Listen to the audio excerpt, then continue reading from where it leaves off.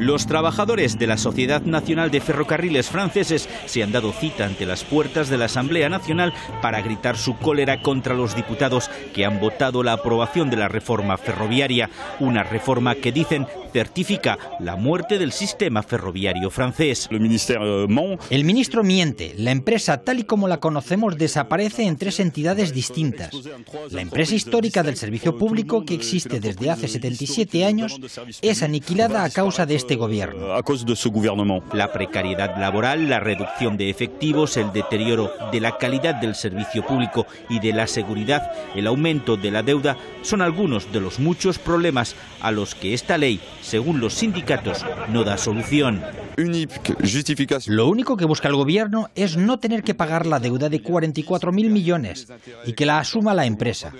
Un gobierno que no prevé amortizar una deuda que él creó. Un gobierno que solo asegura el pago de los intereses a los banqueros. Esta reforma afecta a todos los trabajadores que pertenezcan a la sociedad ferroviaria o a empresas privadas, pues la nueva entidad va a suprimir servicios que hoy realizan empresas externas. Y somos miles los que nos vamos a ver sin empleo.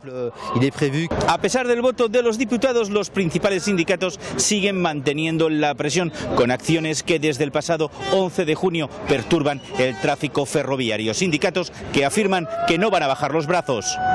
La batalla sigue. No nos han vencido.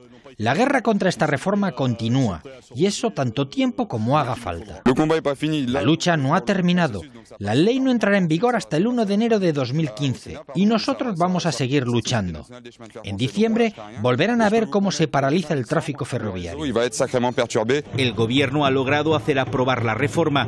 355 diputados la han votado, mientras que otros 189 han votado en contra o se han abstenido.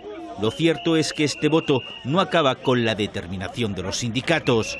Juan José Dorado, Hispan TV, París.